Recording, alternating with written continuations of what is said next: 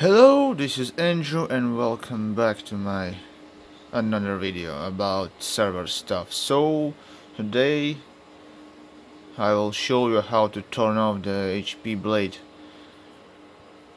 without the blade center as you may see. It's already here.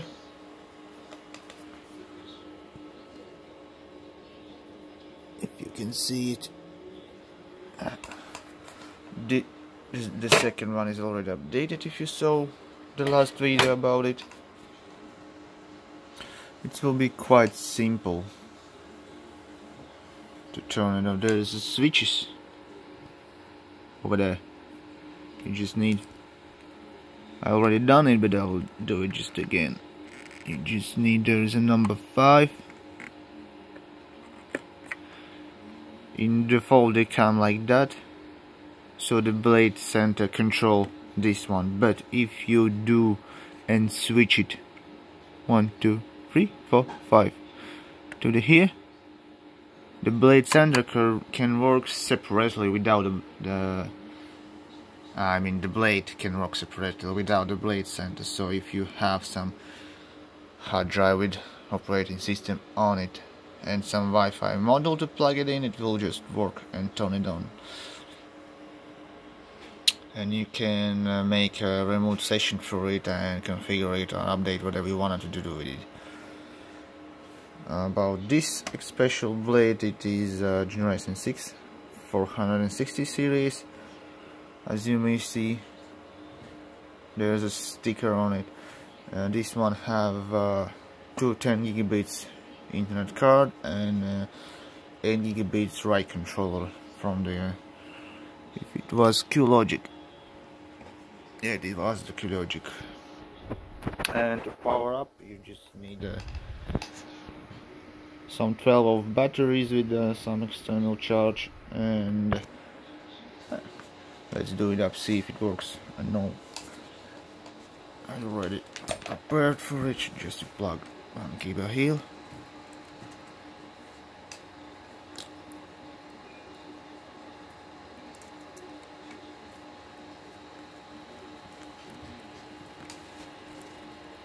it's a little bit hard to do with one hand. And then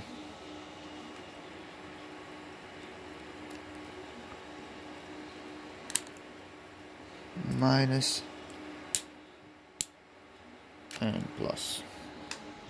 And you can see the battery LED already is green and he should start to check it himself yeah it blinks because it doesn't have any RAM. Oh it's a processor in so that's I can turn it on.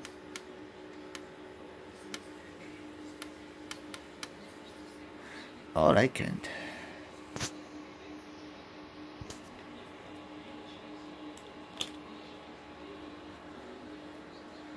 to there is an USB connection here. You need to disassemble this one.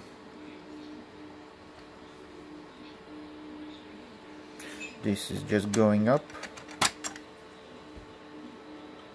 This goes here if you screw it up. And you can stick all what you want.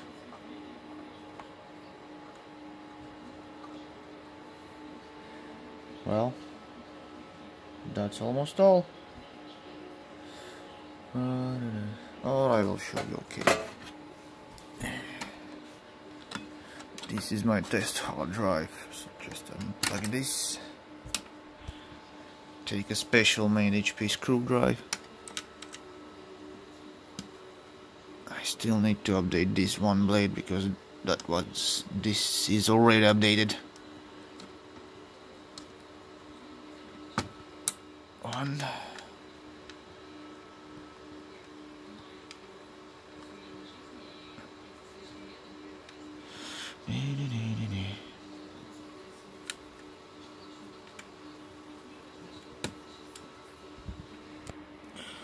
Just take it out like this.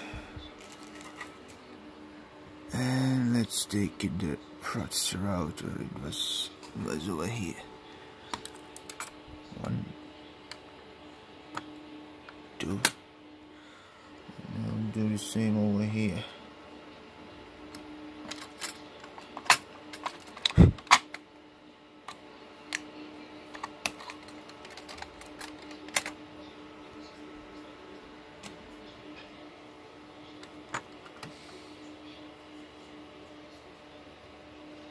just need to be careful to not hit the pins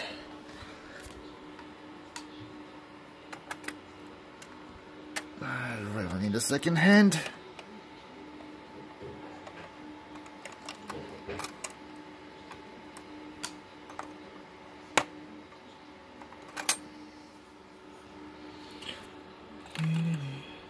All is fine, yep, all is fine.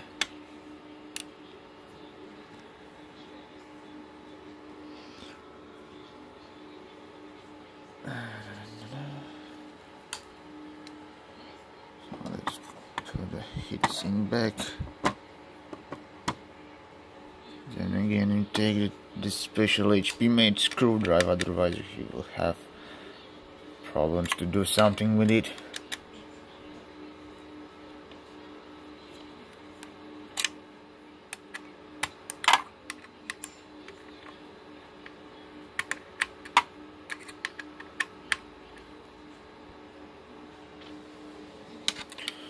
so just check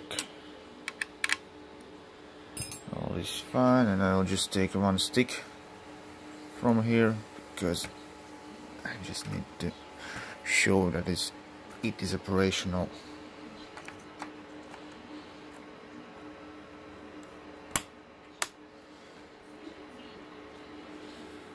Well now it's plugged in and let's power it up.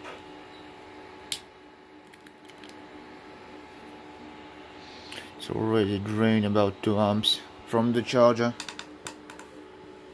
And now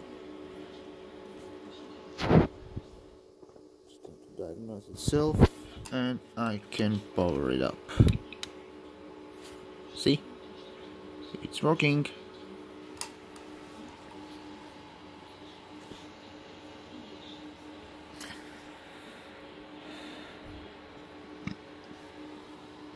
Just need to turn on number 5 switch that's all. And it scream about the memory probably. Yep the memory. Long span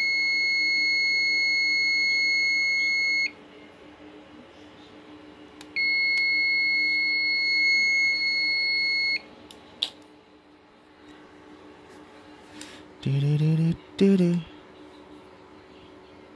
Channel one, channel one.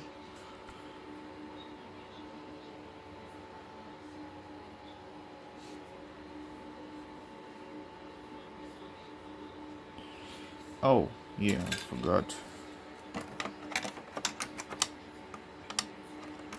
Plug it back.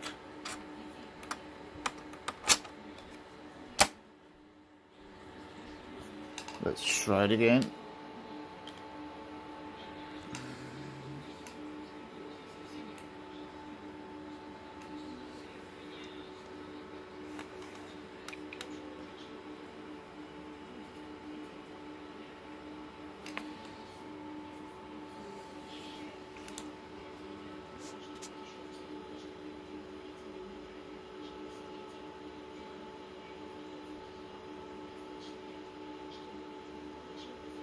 Nope, it's still red.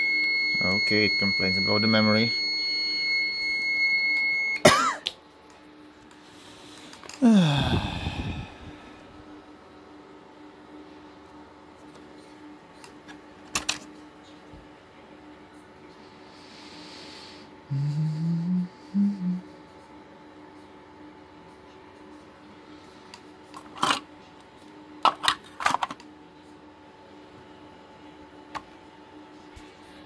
Oh, there's a little bit something wrong.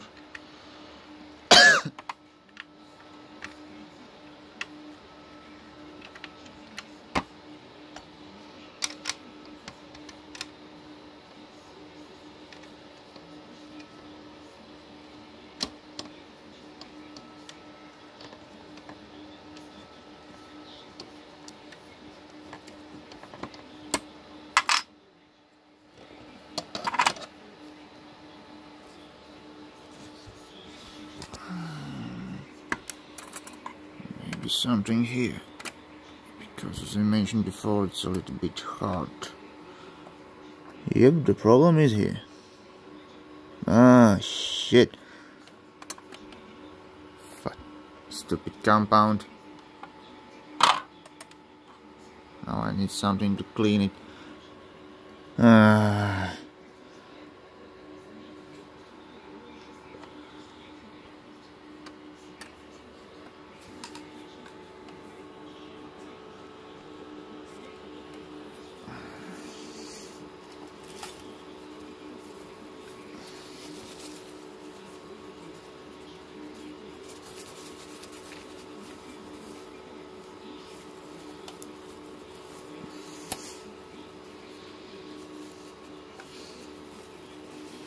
Why do they make so much of it?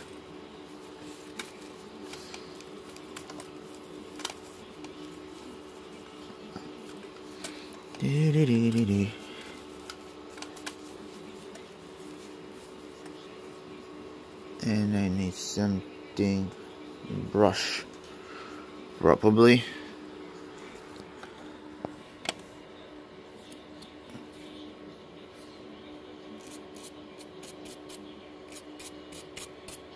cleaning up.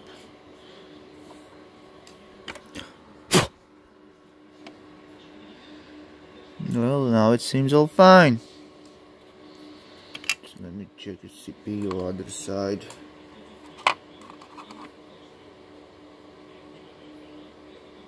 Hmm, here is all fine.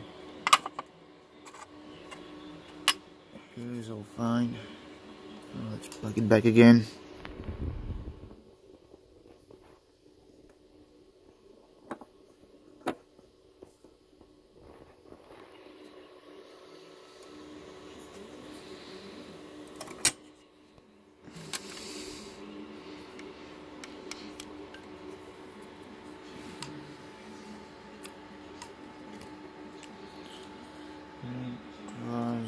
This side.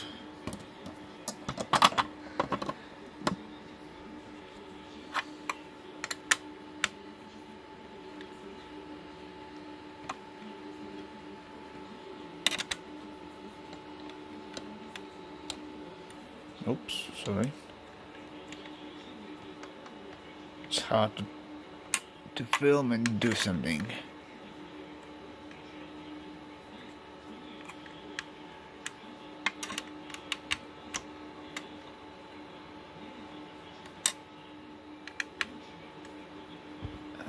take memory.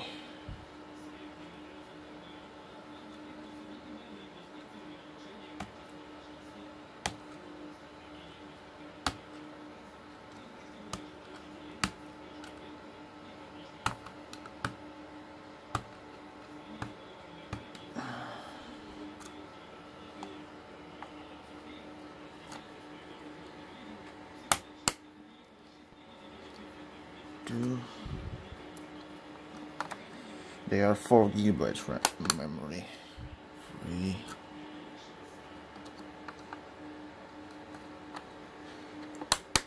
Four.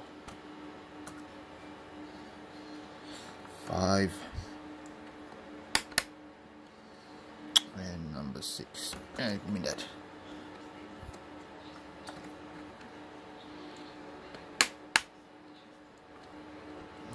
All plugged let's sit it back where it was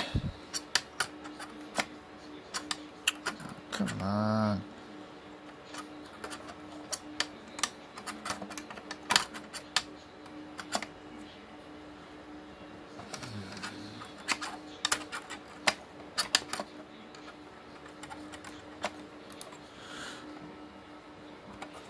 Are you kidding me? Just was fine.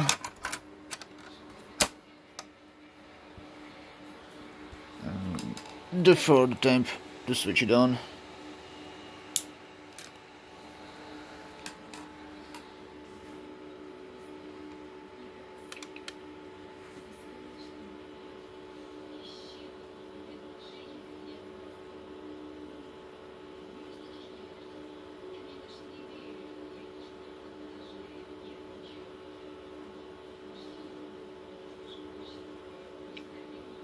Yep, now it works. Because I can hear the second beep. The diagnostic module passed out. What's it? What is all okay? If the heatsinks start to warm up, let me just take my dead hard drive for testing.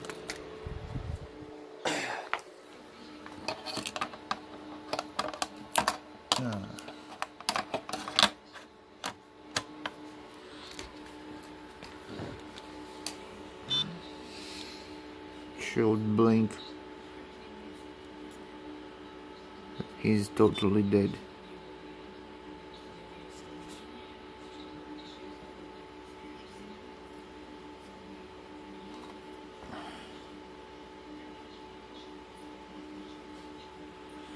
But it paused really long